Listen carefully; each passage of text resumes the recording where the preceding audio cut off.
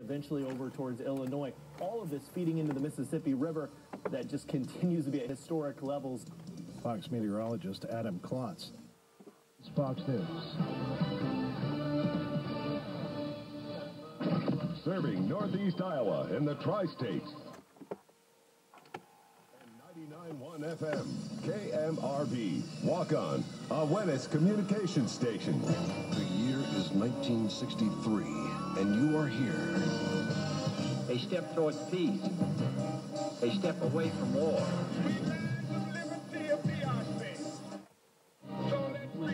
In Dallas, Texas, three shots were fired at President Kennedy's motorcade. You have anything to say in defense? Has thrust upon me the awesome burden of the presidency. In this year of 1963, ladies are getting into style with the two-piece bikini. They're more popular than ever before. And I'll tell you something, women say they're much better than the other kind because they don't get the zippers rusty or stuck. And that's important, you know. Here are the Chantays.